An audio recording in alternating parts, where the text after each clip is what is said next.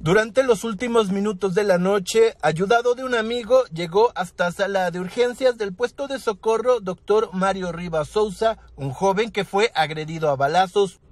La víctima se trata de un joven de 20 años, quien recibió un disparo que alcanzó a herirlo en ambas piernas.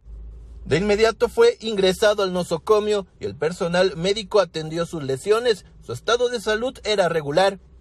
Esta persona que aquejaba gran dolor de sus extremidades relató a las autoridades que fue agredido de manera sorpresiva cuando caminaba por la calle Prudencia en la colonia La Esperanza en el municipio de Guadalajara. A los causantes aseguró no reconocerlos. Asimismo manifestó desconocer las posibles causas que originaron la agresión.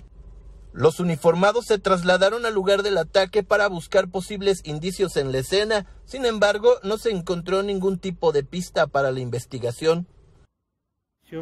El cual menciona esta persona se encontraba en, compañía de un amigo por la calle Prudencia, cuando dos sujetos sin mediar palabras se le acercan en la causa de la agresión, causándole lesión en ambas piernas, al parecer por un solo proyectil. Este es trasladado por el amigo aquí a la Cruz Verde, de momento se encuentra estable en el lugar eh, se estaban buscando indicios, de momento no se han localizado, y testigos de los hechos para iniciar la búsqueda de los presuntos eh, causantes. Finalmente se tuvo conocimiento que este joven al corte informativo ya se encontraba fuera de peligro recuperándose satisfactoriamente de sus lesiones.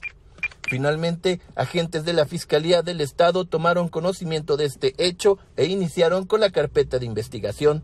Reportó para Guardia Nocturna Alberto Mariscal. Guardia Nocturna.